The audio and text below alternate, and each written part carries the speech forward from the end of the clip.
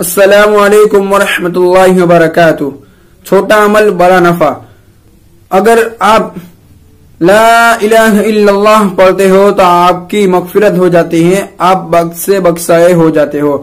اللہ کے نبی صلی اللہ علیہ وسلم نے ارشاد فرمایا کہ اگر کوئی بندہ لا الہ الا اللہ پڑھتا ہے تو اللہ تعالیٰ کے عرش کے سامنے ایک ستون ہے، جو نور کا ستون ہے، ایک استمب ہے، وہ ہلنے لگتا ہے۔